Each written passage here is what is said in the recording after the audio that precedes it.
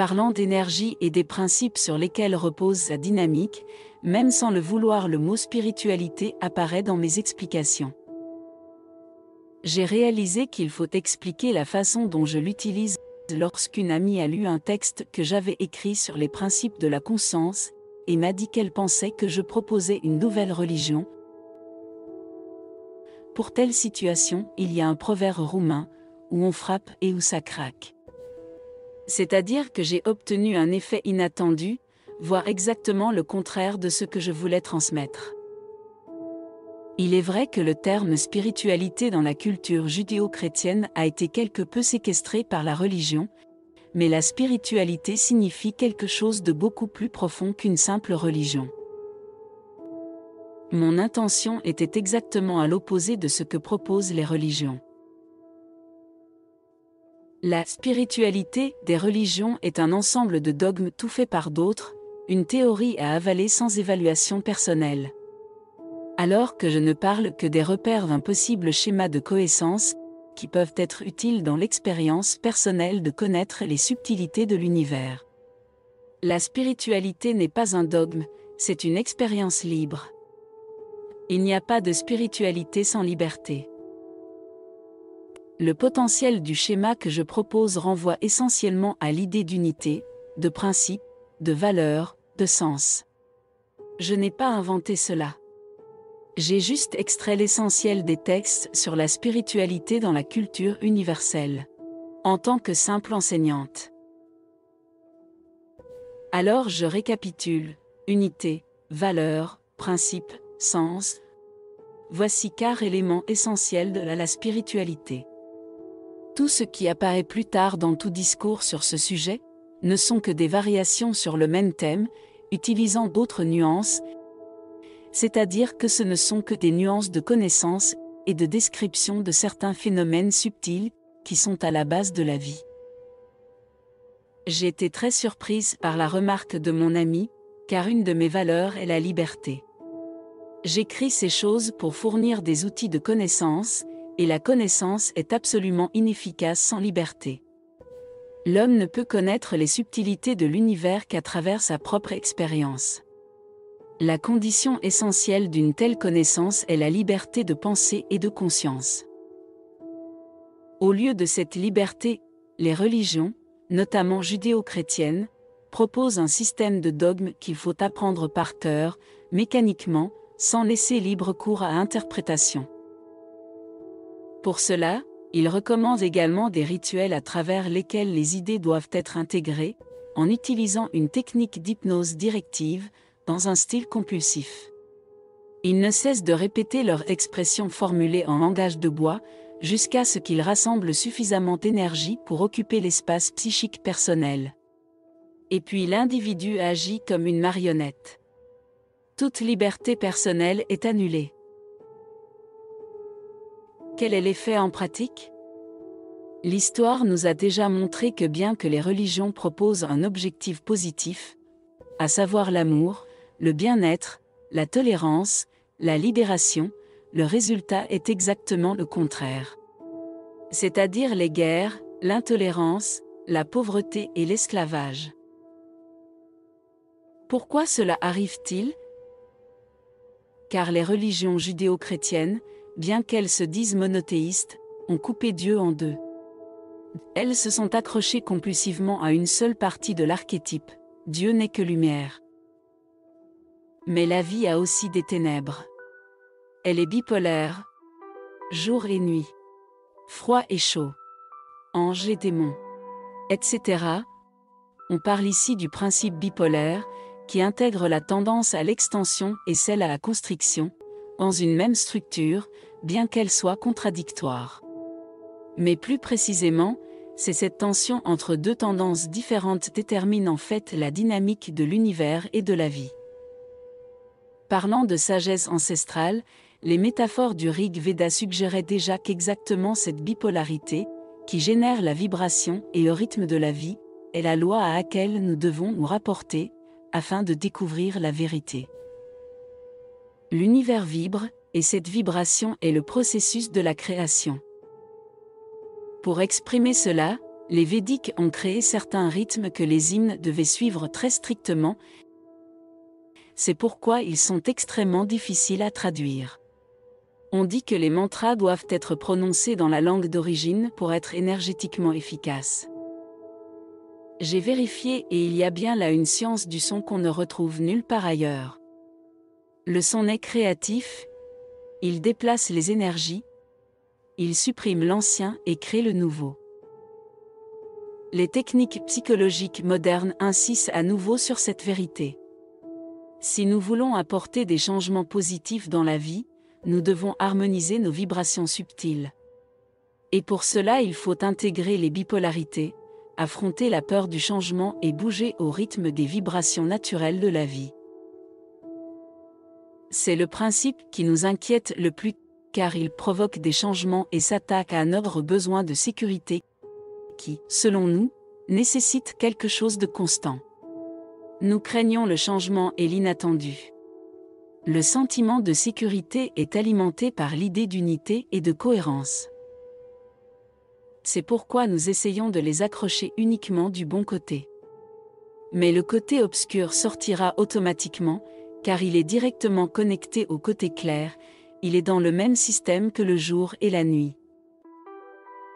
En pratiquant l'hypnose, j'ai remarqué ce phénomène très clairement.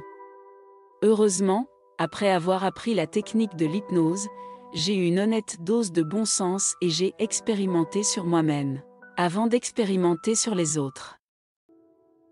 J'ai vu et senti sur mon corps comment une suggestion positive, non purgée de ses aspects négatifs, réveille ses négativités jusqu'alors endormies.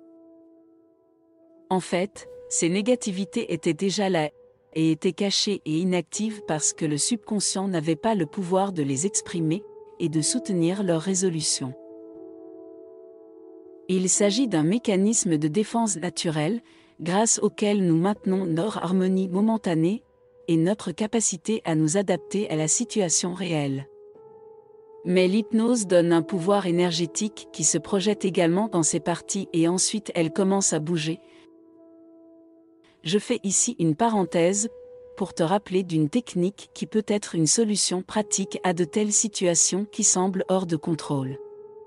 Je recommande l'EFT, la technique de libération émotionnelle, avec laquelle on peut intervenir très rapidement pour éliminer ce type de négativité, de manière très bien contrôlée. Quelle que soit l'autre technique utilisée pour le développement personnel, il est bon d'avoir l'EFT à portée de main. Lorsqu'on ne sait pas quelle solution appliquer, on peut faire de l'EFT et cela peut nous aider à trouver la bonne solution. Pour cela je donne son guide gratuitement. Pour en revenir à la soi-disant spiritualité des religions, elles sont nées du besoin de l'homme de maintenir son sens de la confiance. C'est une question de confiance en la vie, de confiance en soi, d'où la nécessité de construire une théorie pour soutenir le sentiment de confiance. C'est ainsi que les religions sont nées. Et cela explique le fait qu'au départ, ils étaient basés sur ce que l'homme voyait dans la nature. Il essayait en fait de déchiffrer les lois de la nature afin de découvrir les solutions d'adaptation. En ce sens, les religions ancestrales sont bien plus sincères et intelligentes que les religions actuelles, qui reposent sur des dogmes rigides. Les images de Dieu dans les religions anciennes symbolisent les forces subtiles de la nature que l'homme observe et dans ce dialogue spirituel avec la nature, il parvient à reconnaître ses propres forces internes. Il s'agit d'utiliser le pouvoir de projection, une fonction importante de la psyché humaine. À cet effet, les religions ancestrales utilisent un langage symbolique et cela les rend très actuels. Parce que si nous lisons les anciens hymnes, à travers les métaphores que nous y trouvons, on peut projeter nos propres expériences et cela nous aider à découvrir notre propre vérité. Dans le Rig Veda, il est clairement indiqué que les sages recherchent le pouvoir divin en eux-mêmes, car ils ressentent le lien vivant entre l'immanent et le transcendant. Les religions judéo-chrétiennes ont rompu le lien de l'homme avec Dieu, l'envoyant dans un transcendant vide et inaccessible. Et les métaphores se sont transformées en concepts théoriques, dont ils disent qu'il exprime certaines réalités. Bien que personne n'ait accès à ces réalités. Ainsi la métaphore s'est transformée en théorie, la poésie est morte, et avec elle la spiritualité est tombée dans le coma. Et le divin est devenu une idole invisible et inaccessible. Mais la science et l'art moderne confirment les idées spirituelles des religions anciennes. J'ai été extrêmement surprise de reconnaître la psychologie moderne telle qu'elle s'exprime dans le Rig Veda. Les Védiques ne s'accrochent pas aux idées et aux définitions. Leurs paroles coulent librement, comme de l'eau. Le même Dieu peut être appelé par des noms différents, et ces noms, il les utilise ensuite pour appeler un autre Dieu. Parce que c'est la vie, une interconnexion et un changement constant. Ce qui reste constant dans leur hymne est l'intention de créer et de soutenir leurs propres expériences, celles qui soutiennent leur confiance en soi, la confiance dans la réalisation de leurs objectifs personnels. La psychologie moderne confirme l'efficacité d'une telle pratique spirituelle, car la foi n'est pas une théorie. Elle est un sentiment. C'est un sentiment du soi, l'essence de notre être. L'identité personnelle est basée sur notre soi et il se trouve au cœur de la conscience humaine. Notre soi a une base archétypale. Il vient directement de l'énergie universelle, c'est pourquoi notre dialogue avec l'univers commence à partir d'ici. Bien sûr, ce sentiment qui contient notre foi, il doit être traduit par des mots. Et c'est là que commence le jeu de la construction des croyances, et dont de différentes théories sont intellectuellement construites. L'avantage d'utiliser l'intellect dans ce processus d'édification de la foi est d'acquérir un contrôle supplémentaire sur la vie émotionnelle. La vie émotionnelle est la base énergétique du soi, mais parfois, elle peut se manifester comme un ouragan difficile à contrôler. Lorsque la vie émotionnelle est à la dérive, nous pouvons nous tourner vers des théories rationnellement construites et mémorisées par le langage. Cela nous aide aussi pour exprimer notre foi, en utilisant ces croyances construites intellectuellement. Il s'agit de la deuxième étape de ce processus. Les croyances sont investies de valeur et deviennent les coordonnatrices des énergies. Ils occupent la place centrale des schèmes mentaux qui déterminent notre comportement. En particulier, l'idée centrale que nous avons de la vie et de son substrat spirituel affecte directement notre expérience de la vie et décide de la manière dont nous organisons nos énergies. La psychologie démontre et explique ce phénomène. Notre pensée est organisée en schémas mentaux, ou plus précisément en schémas énergétiques composés de pensées, d'énergie, qui s'expriment sous forme d'émotions et de comportements. L'idée centrale un schéma énergétique indique comment les énergies seront organisées. Si elle est fortement énergisée, elle sera investie de valeur, et ainsi la pensée devient une croyance. La croyance centrale de notre philosophie de la vie, c'est l'idée centrale de notre foi, qui nous relie à la puissance des valeurs. C'est l'idée qui détermine la position que nous prenons devant la vie et devant ses mystérieux pouvoirs subtils. C'est juste l'idée qui façonne notre destin. D'où la foi tire-t-elle autant de pouvoir, Rappelle-toi que j'ai dit dès le début que la valeur est l'un des piliers de la spiritualité. La valeur c'est un vecteur énergétique, elle capte les énergies et donne le sens dans lequel la dynamique des énergies doit être orientée. La valeur exprime la puissance créatrice de la vie. C'est pourquoi les anciens sages l'associaient à la grande déesse et priaient les dieux masculins d'apporter son pouvoir dans leur cœur. Les dieux masculins expriment les principes qui fournissent les formes de réalisation des valeurs. La valeur à partir de laquelle ils sont commencés cette aventure de recherche spirituelle, c'est la création. De début, la puissance créatrice était associée symboliquement à la femme, car elle peut donner naissance à des enfants.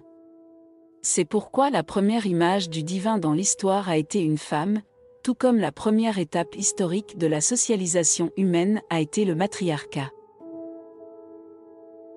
La valeur a ses formes de manifestation sur les deux plans, matériel et spirituel.